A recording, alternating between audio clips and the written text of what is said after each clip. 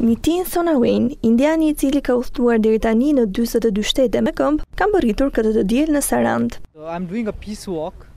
Po udhëtoj në këmbë përreth botës për të festuar qind-e-pesëdhjetë vjetorin e Mahatma Gandhi.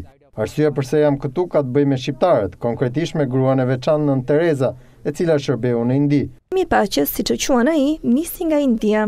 Unë kam udhëtuar në 42 shtete, sot jam në Sarandë dhe më pas do udhëtoj për në Tiranë. Dua të takohem edhe me presidentin.